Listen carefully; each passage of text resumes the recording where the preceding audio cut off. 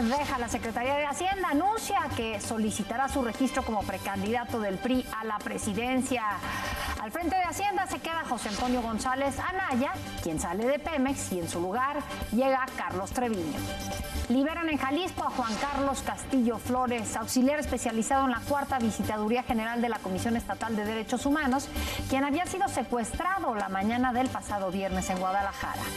Fin de semana violento en San Luis Potosí. Siete personas fueron asesinadas en diferentes hechos. Tan solo en el municipio de Villa Zaragoza encontraron cinco cuerpos. El secretario del Medio Ambiente, Rafael Paquiano, confirma que elementos de la PGR detuvieron a Sunshine Antonio Rodríguez Peña, presidente de la Federación de Cooperativas Ribereñas del puerto de San Felipe en Baja California. Está acusado de pesca ilegal de totuaba, lo que ha contribuido a la extinción de la vaquita marina. Marchas en ciudades de todo el mundo en contra de la violencia hacia las mujeres. Le tendremos los detalles.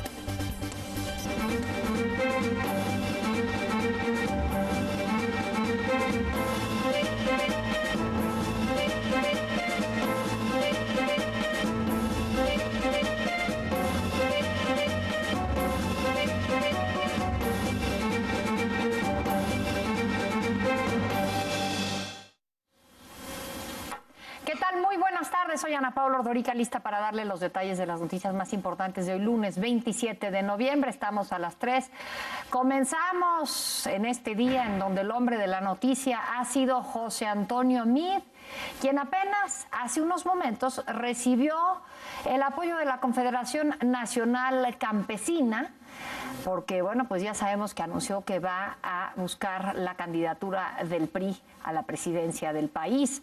Vamos con mi compañero Héctor Guerrero. Él se encuentra justamente en las instalaciones de la CNC para que nos dé los detalles de lo que ahí ha ocurrido el día de hoy, hace unos momentos. Héctor, ¿cómo estás? Adelante con tu reporte. Gracias, Ana Paula. Muy buenas tardes. Un saludo a ti al auditorio. Pues en estos momentos se lleva a cabo el apoyo que le está brindando la Confederación Nacional Campesina a José Antonio Mil En un breve mensaje, eh, hace unas horas, eh, secretario de Hacienda y Crédito Público y aspirante a la candidatura del PRI a la presidencia de la República, pues dice que ha trabajado en su a lo largo de su vida, pues cerca de los campesinos. Dice que le ha tocado poner el crédito en sus manos para tener un pero Por eso viene a pedirles este, pues que marchen, que marchen junto con él para sembrar la semilla del progreso y en concreto pues para que lo apoyen en esta intención que tiene de buscar la candidatura del Partido Revolucionario Institucional a la presidencia de la República. En estos momentos, Ana Paula, el senador Ismael Hernández Heras, quien es el presidente del Comité Ejecutivo Nacional de la Confederación Nacional Campesina, pues dice que lo van a acompañar en cada una de las etapas. Ya ha establecido la convocatoria del PRI para buscar precisamente la candidatura de su partido y que el campo, a través de su persona, se vea apoyado, Ana Paula. Héctor, bueno, pues eh, como decíamos, el hombre de la noticia hoy ha sido José Antonio Mid. Eh, cuando, y ya daremos aquí los detalles en a las tres, pero cuando el presidente Peña Nieto anuncia los cambios en el gabinete, no dice textualmente ni formalmente que José Antonio Mid será el candidato a la presidencia. Pero pues el hecho de que esté ahí con las centrales campesinas en este momento y que le estén dando un espaldarazo así no deja lugar a dudas. Sí, sin duda, Ana Paula. Él, eh, por su propio ve, ha decidido acudir a cada uno de los sectores del partido, aun cuando no está ubicado porque no es militante del partido. Hay que recordar que la 22 Asamblea Nacional del PRI pues hizo los candados y estableció que para quienes sean simpatizantes, pues con solo obtener la carta de la Comisión Política Nacional es suficiente para a la candidatura de su partido, de todos los que pretendan hacerlo, pero él ha decidido, como si fuera un militante un cuando no lo es, pues acudir a cada uno de los sectores. El PRI ya fue a la CTM, o ahorita está en la CNC, e irá más tarde a la CNOP, y bueno, seguramente también tendrá reuniones con los tres sectores del partido, como son mujeres, jóvenes y el movimiento territorial, a buscar el apoyo pues para tener esta eh, candidatura del Partido funcionario institucional. Muy bien, Héctor, pues muchas gracias y aquí eh, pues pendientes eh, de lo que ocurre en estos momentos en esta Central Nacional Campesina. Seguimos pendientes, Ana Paula. Gracias. Y sabemos que más tarde se reunirá con integrantes eh, de otra de las confederaciones obreras del PRI, con la Confederación Nacional de Organizaciones Populares, mejor conocida como la CNOP. Allá, en las instalaciones de la CNOP, se encuentra mi compañera Claudia Flores, quien nos tiene todos los detalles. Claudia, ¿cómo estás? Muy buenas tardes. ¿Qué tal? Te saludo con mucho gusto. Y sí, la Confederación Nacional de Organizaciones pues también agrupa a movimientos sociales de, de ciudadanos y agrupaciones políticas. Ya se encuentra lista para recibir aquí a José Antonio. Miren este auditorio Luis Donaldo Colosio de las instalaciones ubicadas en la, esquina de Ignacio Ramírez y Plaza de la República en la colonia Tabacalera. Hasta aquí, Ana Paula, han llegado diversos personajes de eh, la CNOP, delegados de todo el país, también senadores, diputados, diputados locales de diversas entidades también para manifestar este respaldo a José Antonio Mit como eh, aspirante a la candidatura del PRI a la presidencia de la República. Arturo Zamora Jiménez, quien es el coordinador nacional de la CNOP, nos ha comentado que él mismo lo recibirá en la puerta de este edificio, subirán hasta este segundo piso y aquí se va a dar esta manifestación de apoyo eh, histórica a José Antonio Mit, porque en efecto, como se ha mencionado a lo largo de esta transmisión, pues él es el primer aspirante que no es militante priista y eso también tiene un significado para todas estas personas que se han reunido aquí y que piensan darle este apoyo irrestricto, no importando que él no sea militante de este partido. Se le va a entregar a Ana Paula un documento para cumplir con los artículos 205 y 206 de los estatutos del PRI de la convocatoria lanzada por ese partido, en el que se expresa, ese documento por cierto va dirigido a la Comisión Nacional de Procesos Internos del PRI y ahí se establece este apoyo incondicional a José Antonio Curibreña para que ocupe la candidatura presidencial del PRI hacia el 2018. Ana Paula, ha habido mucho entusiasmo de los neopistas aquí. Se calcula que de 6.300.000 eh, militantes que se tienen registrados en el padrón priista, neopistas son aproximadamente 4 millones y han expresado aquí pues porras, eh, ya están comenzando con algunas expresiones originales de apoyo a Mid eh, Curibreña. Se nota también el entusiasmo de los legisladores que han estado también participando de las porras, levantando la mano. Entre ellos se encuentra, pues, por ejemplo, el senador Joel Ayala, que es dirigente de la Federación de Sindicatos de Trabajadores mm, del Estado, al servicio del Estado, la FEDSE.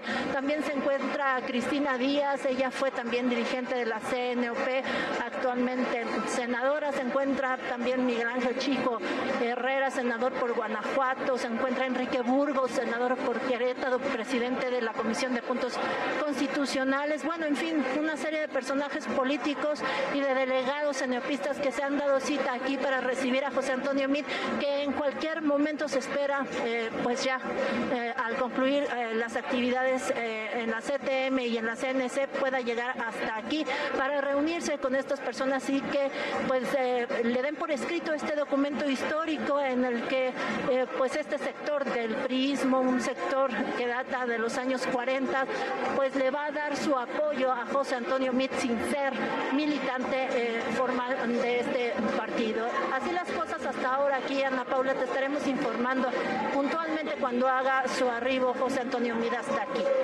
Estamos pendientes, Claudia, del momento en que llegue José Antonio Mid ahí a estas instalaciones de la CNOP. Gracias, Claudia. Y le digo que esta tarde José Antonio Mida anunció que va a solicitar su registro como precandidato a la presidencia de la República por el PRI. Afirmó que su único anhelo es servir al país, esto a pesar de que él no es priista. Así lo dijo. Voy a solicitar mi registro como precandidato a la presidencia de la República.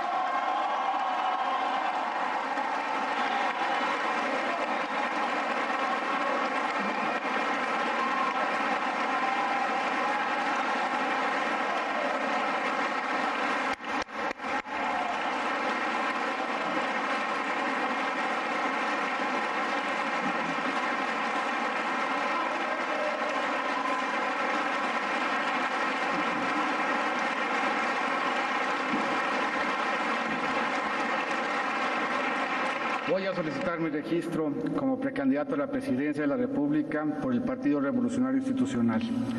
Lo hago tras 20 años de servir a mi país de manera ininterrumpida, con integridad y honradez.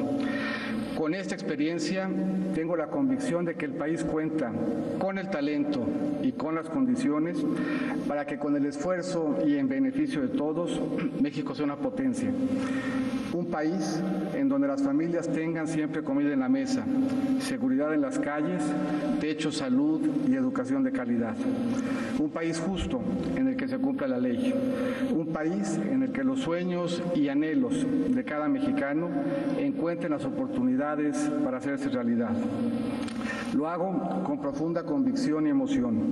Mi único anhelo es servir a mi país y mi gran privilegio ha sido trabajar por México. Muchas gracias.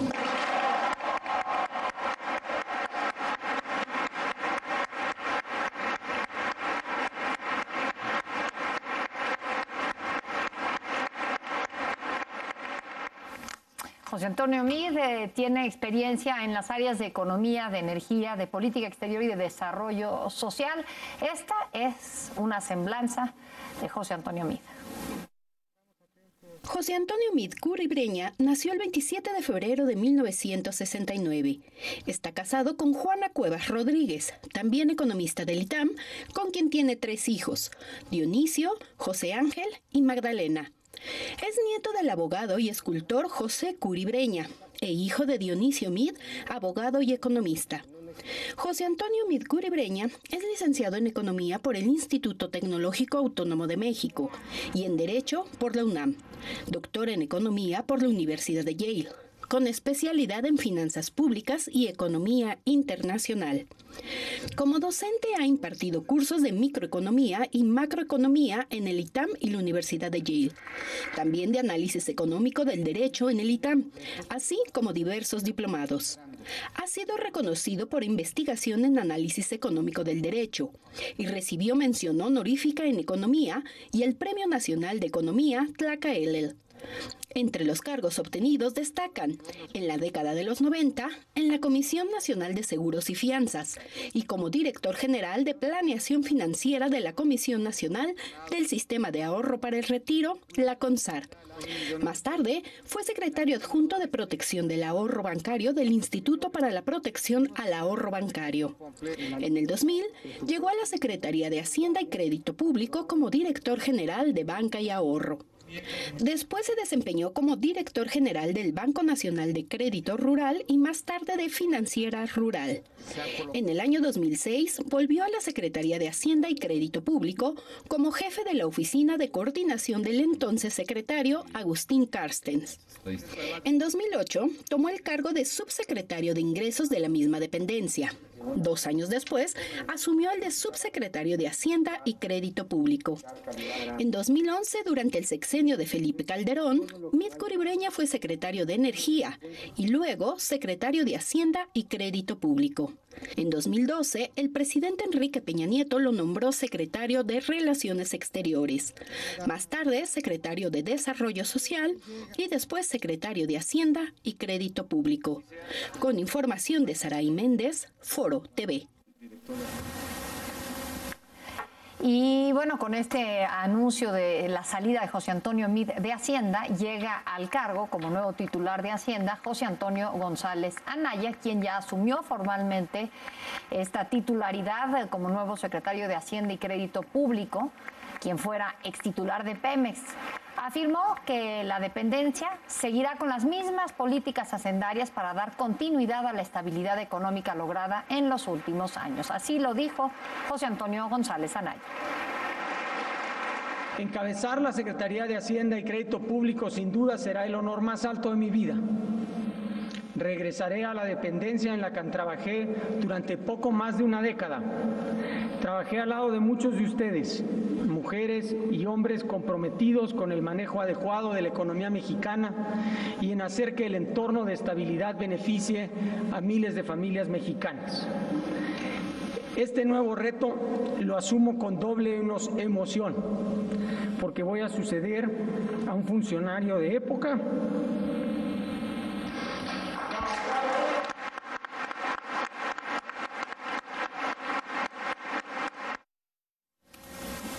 Al igual que José Antonio Mid, José Antonio González Anaya cuenta con una amplia trayectoria en la administración pública. Si no lo hicieran así, que la nación se los demande. Felicidades y enhorabuena. José Antonio González Anaya es el nuevo secretario de Hacienda y Crédito Público. Originario de Coatzacoalcos, Veracruz, cursó licenciaturas en Economía e Ingeniería Mecánica por el Instituto Tecnológico de Massachusetts. Realizó una maestría y obtuvo un doctorado en Economía por la Universidad de Harvard. Antes de su nombramiento como titular de Hacienda, fue director general de Petróleos Mexicanos. También ocupó la dirección general del Instituto Mexicano del Seguro Social. Además, se desempeñó como subsecretario de Ingresos de la Secretaría de Hacienda y Crédito Público. También fue economista senior en el Banco Mundial para Perú, Bolivia y Paraguay. Además, formó parte del equipo de Agustín Carsten en la Secretaría de Hacienda y Crédito Público. González Anaya ha sido investigador senior y profesor asociado en el Centro de Investigación para el Desarrollo de la Universidad de Stanford. De acuerdo con datos de la Administración Pública, González Anaya destaca por su conocimiento sobre los sistemas de pensiones y por su labor para las reformas del IMSS. Foro TV. Y bueno, es que esta mañana en Los Pinos el presidente Enrique Peña Nieto aceptó la renuncia de José Antonio Mid como secretario de Hacienda y Crédito Público. En su discurso le agradeció su trabajo durante el gobierno actual. Así lo dijo. económica, entorno internacional.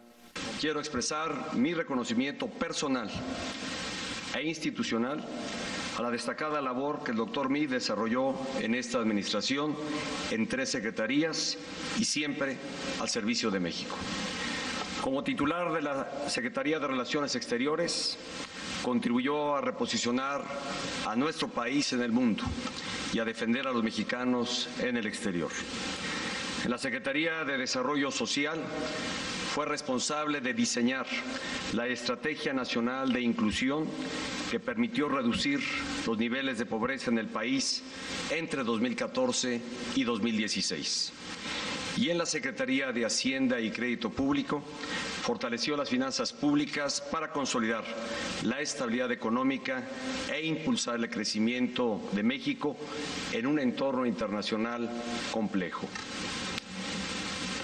En el desempeño de sus responsabilidades, el doctor Mead acreditó su sólida formación académica y profesional, así como un amplio conocimiento de las necesidades del país y de su enorme potencial hacia adelante.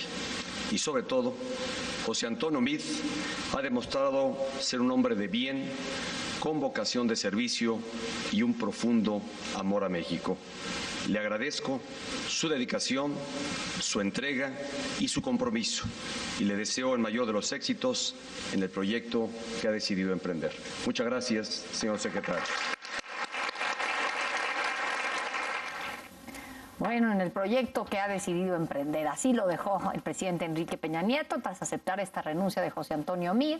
Anunció también que José Antonio González Anaya sería el nuevo titular de Hacienda y Crédito Público y, entre otras cosas, el presidente le instruyó mantener las condiciones de estabilidad macroeconómica de las que ha gozado México designado como nuevo secretario de Hacienda y Crédito Público al doctor José Antonio González Anaya, quien se ha desempeñado previamente en esta administración como titular del Seguro Social y hasta ayer como director general de Pemex. En la primera responsabilidad, el doctor González Anaya fue determinante para mejorar los servicios a los derechohabientes del IMSS y para restablecer la salud financiera de esta noble institución. Al frente de Pemex condujo esta empresa productiva del Estado con gran disciplina y talento, a fin de mejorar sus finanzas y modernizar sus operaciones en el marco de la reforma energética. El ahora nuevo secretario de Hacienda, después de rendir su protesta, le doy las siguientes indicaciones. Mantener las condiciones de estabilidad macroeconómica de las que hoy goza nuestro país. Consolidar las finanzas públicas sanas ejercer de manera eficiente, transparente y oportuna el presupuesto aprobado por la Cámara de Diputados y en este punto es de especial importancia la administración de los recursos destinados a la reconstrucción por los sismos de septiembre. También deberá seguir impulsando políticas prioritarias de esta Administración, como lo son la formalidad de la economía, la implementación de las zonas económicas especiales, la inclusión financiera las nuevas instituciones de tecnología financiera, las llamadas FinTech. Estoy seguro de que nada de esto es nuevo para el doctor González Anaya, toda vez que conoce muy bien el sector hacendario en el que trabajó o ha trabajado o trabajó y regresa nuevamente durante más de una década. Al frente de Petróleos Mexicanos fue nombrado Carlos Alberto Treviño Medina. El presidente le pidió fortalecer las finanzas e impulsar la productividad de Pemex. Nada más. Impulsar la productividad de la empresa ahora con base en la estabilidad. Al frente de la Dirección General de Petróleos Mexicanos he designado al maestro Carlos Alberto Treviño Medina, quien hasta ayer era director corporativo de Administración y Servicios de Pemex. El maestro Treviño tiene una amplia experiencia financiera en la Administración Pública Federal. Además de su labor en Pemex, ha tenido importantes responsabilidades en la financiera rural, el Seguro Social y en la Subsecretaría de Egresos en Hacienda, de la que fue titular. El nuevo director general de Pemex deberá continuar y profundizar las instrucciones que en su oportunidad di a quien a, partir de hoy se convierte en el secretario de Hacienda. Primero, fortalecer las finanzas e impulsar la productividad de la empresa, ahora con base en la estabilidad alcanzada en el último año y medio. Y segundo, aprovechar al máximo las oportunidades que le ofrece a Pemex la reforma energética, incluyendo nuevas alianzas con el sector privado en exploración, producción, refinación y logística.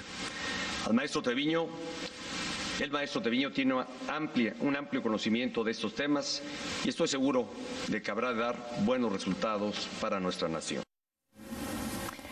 ¿Quién es Carlos Alberto Treviño Medina? Es el, además de nuevo director general de Pemex, ingeniero en industrias alimentarias por el Instituto Tecnológico de Estudios Superiores de Monterrey. Tiene una maestría en administración de empresas y en ciencias. Fue director corporativo de finanzas y director corporativo de administración entre 2011 y 2013 de Pemex. Además, director general de planeación estratégica de la Comisión de Crecimiento con Calidad de la Presidencia de la República y oficial mayor en las Secretarías de Economía y de Energía durante el gobierno de Vicente Fox. También se desempeñó como subsecretario de egresos de la Secretaría de Hacienda y Crédito Público, director general de Financiera Rural en 2012, director de finanzas en el Instituto Mexicano del Seguro Social.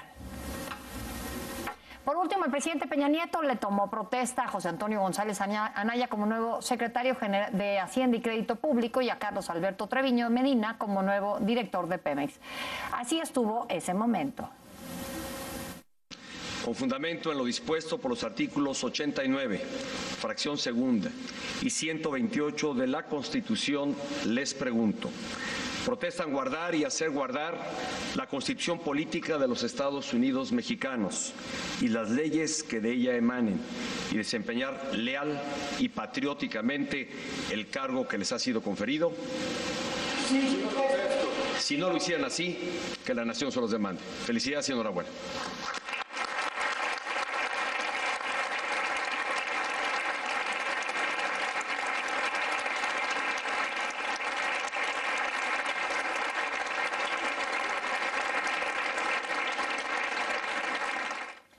También hoy en la tarde José Antonio Mir recibió el respaldo de la Confederación de Trabajadores de México para buscar la candidatura del PRI a la presidencia de la República.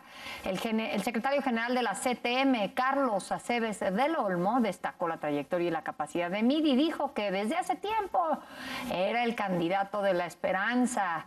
Mir agradeció el apoyo de los trabajadores de México, se comprometió a recorrer el país y en caso de llegar a la presidencia de hacer realidad los anhelos de todos los mexicanos de tener mejores oportunidades.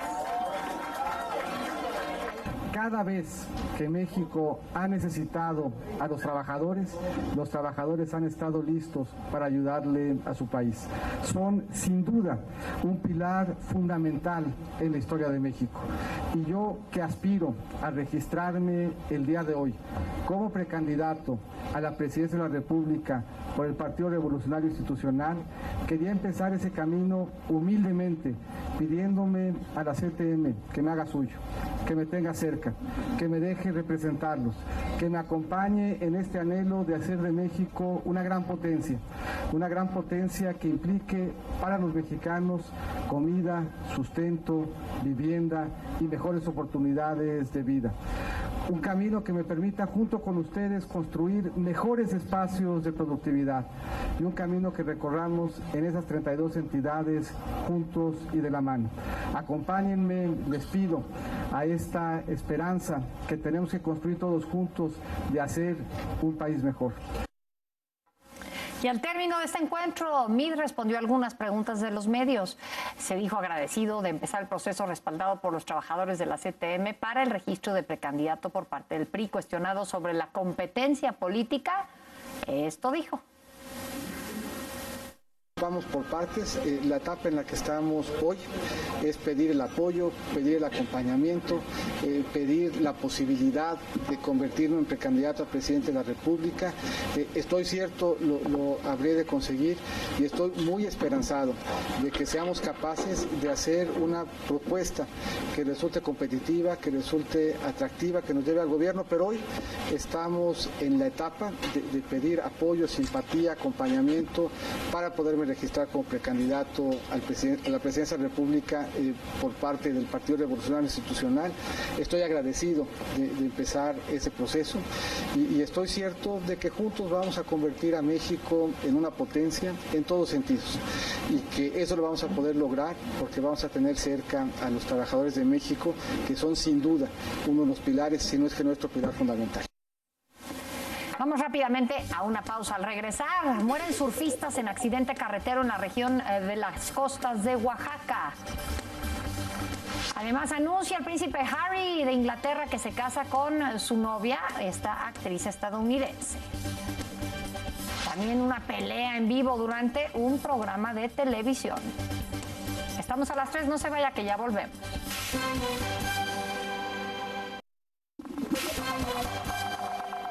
De regreso a las 3. En Jalisco fue localizado sano y salvo Juan Carlos Castillo Flores. Él es auxiliar especializado en la cuarta visitaduría general de la Comisión Estatal de Derechos Humanos y fue secuestrado la mañana del pasado viernes en Guadalajara. El secretario general de Gobierno, Roberto López Lara, confirmó que no se pagó ningún rescate y que la Fiscalía continúa la investigación para lograr saber eh, pues, eh, qué pasó dar detalles y dar con los responsables de este secuestro.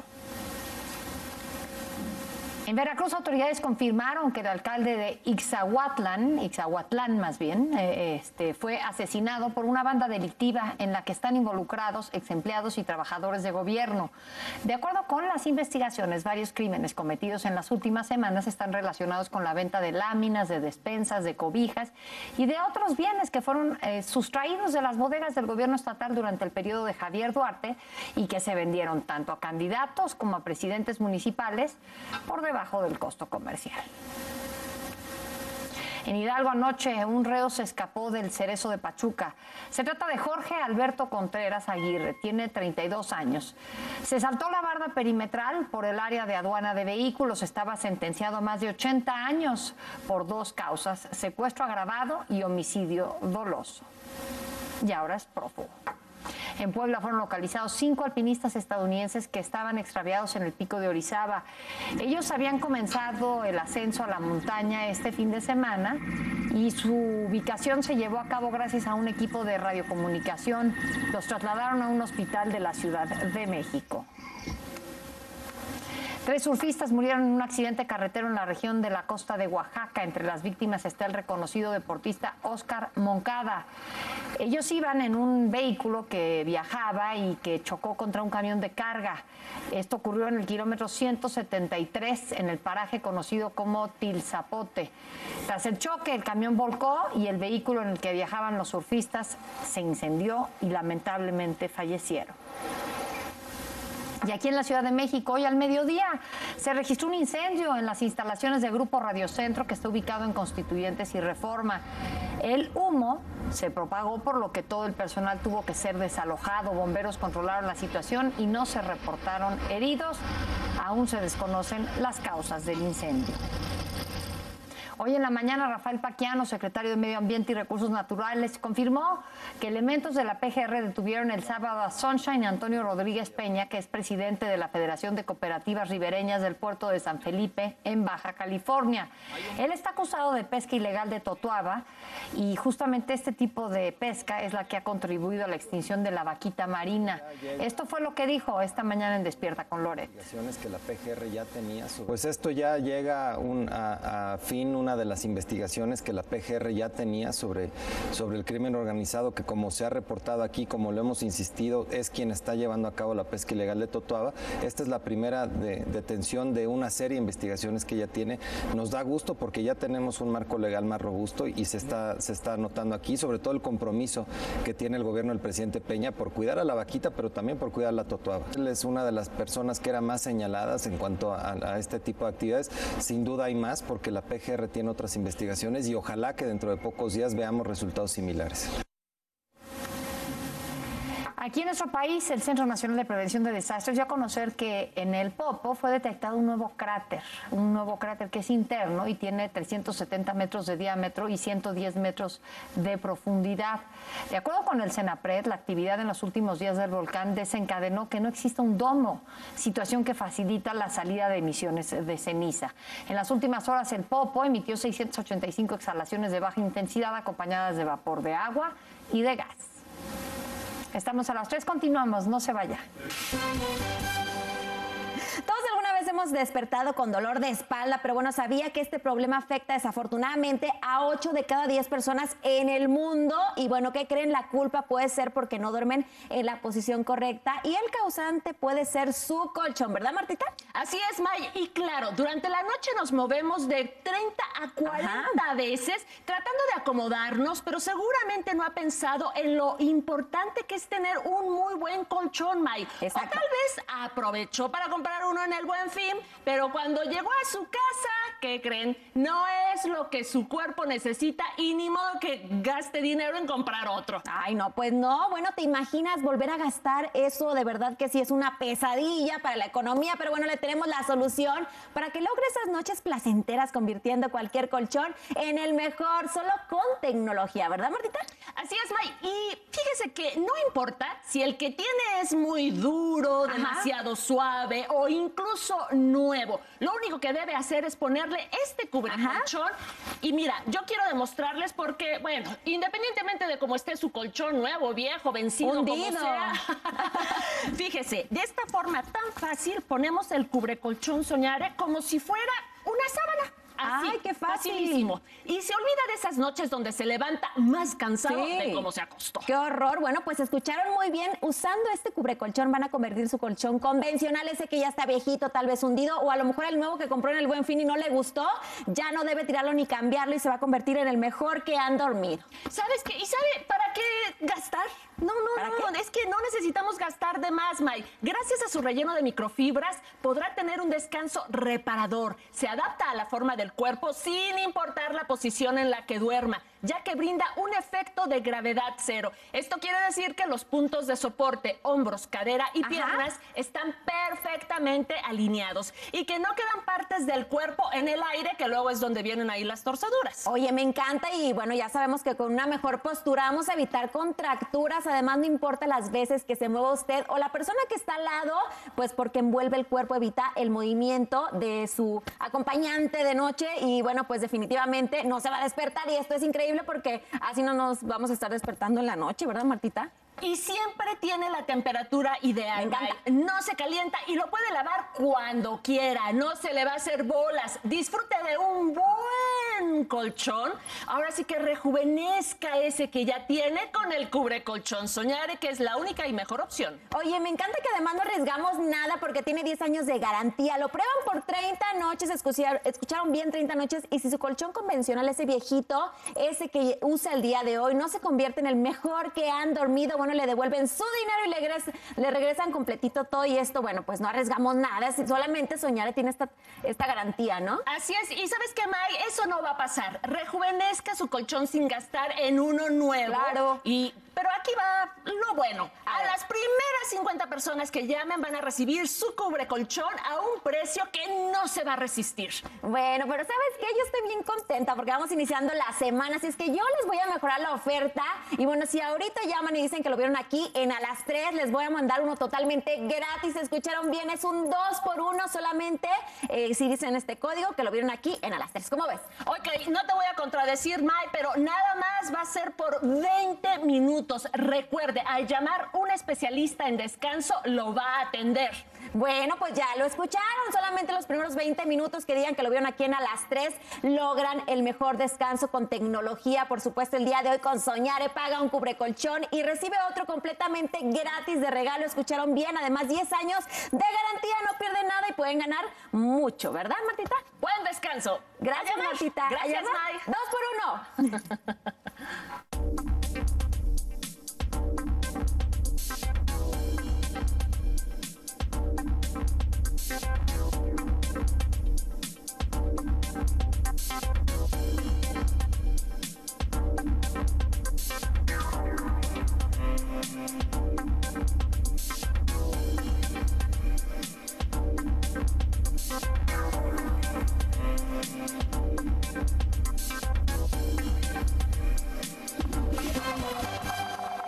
Estamos de regreso a las tres. Varias personas, en su mayoría mujeres, marcharon en muchos países, en- incluyendo México, en el marco del Día Internacional contra la lucha contra la violencia hacia la mujer.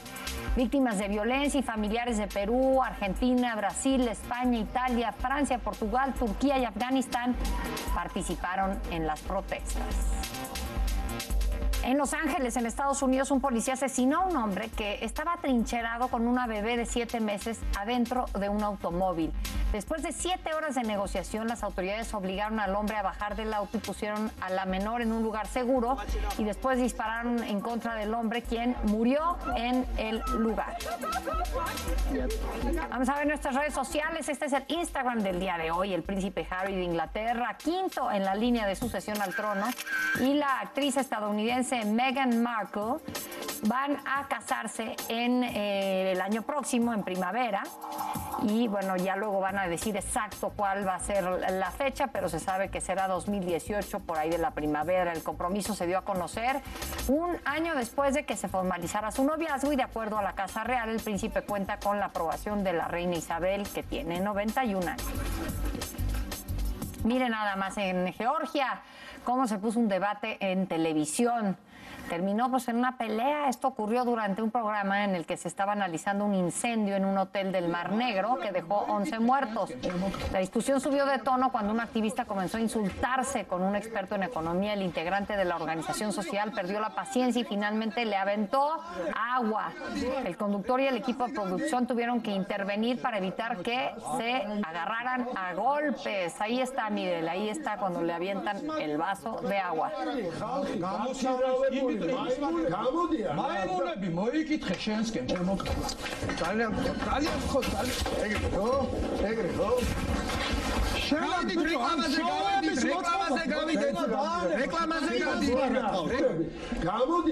Muchas cosas allá eh, en este país, ex satélite de la Unión de Repúblicas Soviéticas Socialistas. ¿Cómo va a estar el clima en las siguientes horas? Vamos con Maite Carranco para que nos dé el reporte. Querida Maite, adelante.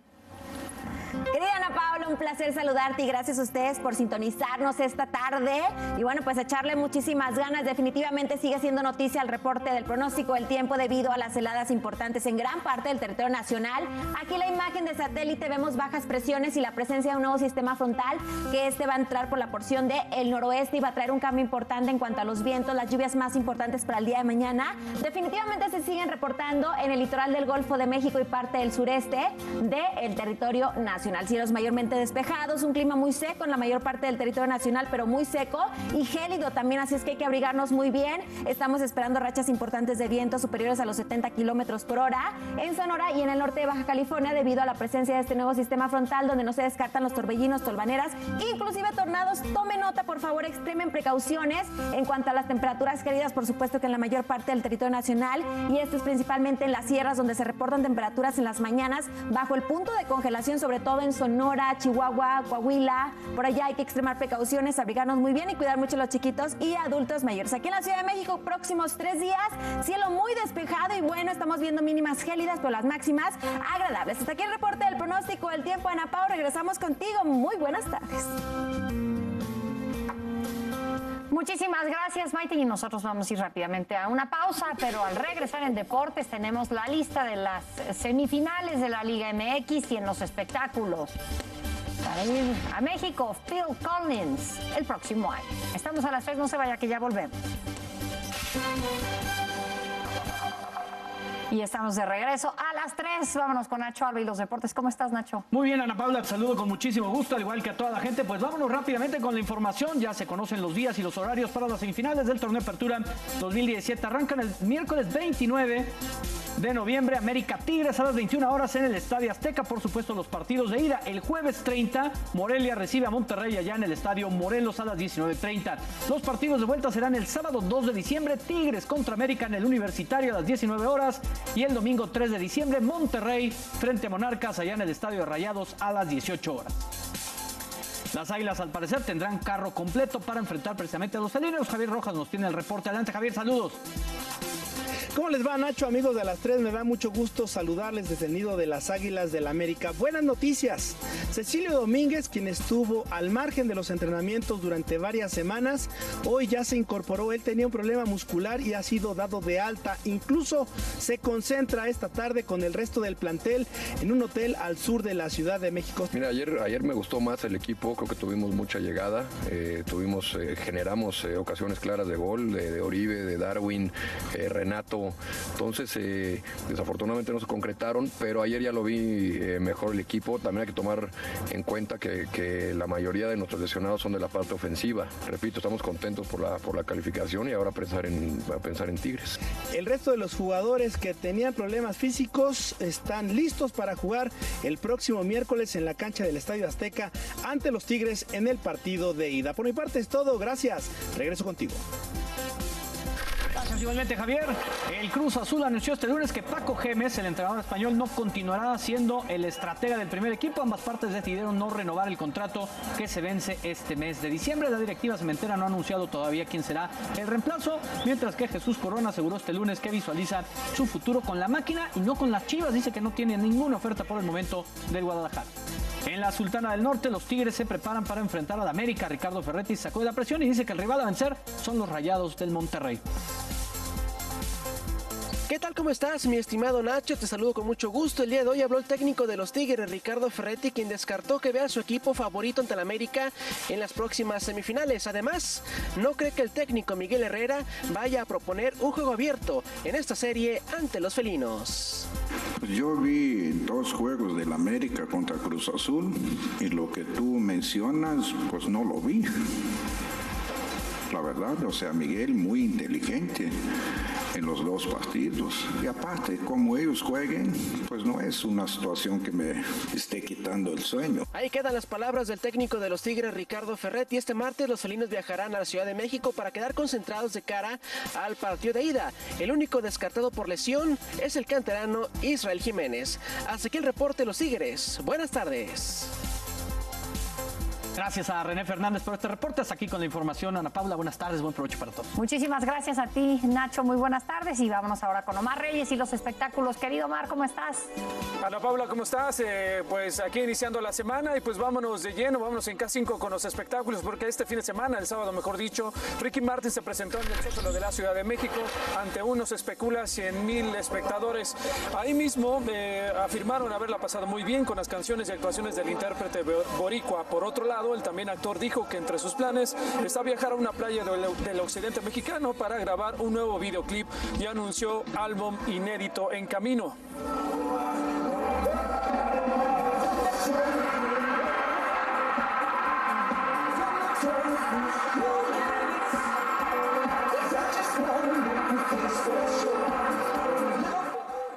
Vamos a filmar en, en, en, las playas, vamos a filmar en el centro, vamos a. ya que a mí que no me gusta. Y las canciones de fiesta, vamos a hacer un tipo, un rollo carnaval muy especial que, que va a gustar mucho. Pero yo que para la primavera del próximo año ya tengamos disco completo. Pero de todas maneras, ya he grabado temas para este próximo disco. Por, por ejemplo, Vente para acá es una canción que va a ser parte de este tema. Eh, esta que estamos presentando ahora también será parte de este sencillo ya espero que a lo mejor la próxima sea una balada. Entonces, que de así medio cortavenas, como me gusta, y, y es la idea. Esta mañana mañana, tiempo de México, el príncipe Enrique V y la actriz Meghan Markle se comprometieron en matrimonio. Pero ¿quién es y qué ha hecho Meghan Markle? Rachel Meghan nació el 4 de agosto de 1981 en Los Ángeles, California. Entre su currículum encontraremos que ha actuado en películas con roles secundarios como Horrible Bosses del 2011, Remember Me de 2010, en protagónicos como Random Encounters de 2013 y Dater's Handbook del 2016. Además, en la serie de televisión Suits como Rachel Zane. La prensa conservadora del Reino Unido ventiló algunos pasajes de la vida de Markle, divorciada, artista mestiza de padre blanco y madre afroamericana. Sin embargo, sin embargo, perdón, estos prejuicios, bueno, se vinieron abajo con la anuencia de la reina Isabel II. Phil Collins estará en México en marzo del 2018. El legendario baterista del grupo Genesis regresa a nuestro país como parte de la gira latinoamericana que arranca el 22 de febrero en Brasil. Collins tocará el 6 de marzo en Monterrey, Nuevo León, el 7 en Guadalajara y por último el 9 de marzo aquí en la Ciudad de México. La clásica preventa será el 5 y 6 de diciembre. Un día después la venta general, los precios van desde ahorrele casi 6 mil pesos y hasta los 880 pesos, el más baratito. Crean a Paula, pues estos fueron los espectáculos esta tarde de Destapados. Muchas gracias, querido Mar. Muy buenas tardes. Nosotros vamos a ir rápidamente a una pausa, pero no se vaya que voy a regresar con un resumen de lo más importante y el tuit del día. Estamos de regreso a las 3. Vamos a ver cómo han estado las finanzas el día de hoy. En Nueva York, el Dow Jones subió 0.10%. El Nasdaq, bueno, aquí este, se nos coló el príncipe Harry y, y, su anillo de compromiso que le dio a su novia, la actriz, pero le decía que en Nueva York el Dow Jones subió 0.10%, el Nasdaq perdió 0.15%, en México la bolsa cerró con una baja de 1.39% y el dólar recuperándose algo cerró en 18 pesos con 90 centavos a la venta. Antes de despedirnos en 280 caracteres, el ahora ex titular de Hacienda, José Antonio Mid, indicó a través de sus redes sociales que ha sido un privilegio servir a México desde diversos encargos que el presidente Peña Nieto le encomendó, razón por la que agradeció su confianza, hizo un reconocimiento al equipo que forma parte de la institución que hasta hoy dirigía, de la Secretaría de Hacienda. Ese tuit del día, aquí en A las 3. Soy Ana Paula Ordorica y a nombre de todo el equipo le agradezco habernos acompañado esta tarde. Que tenga muy buena tarde. Buen provecho. Hasta mañana.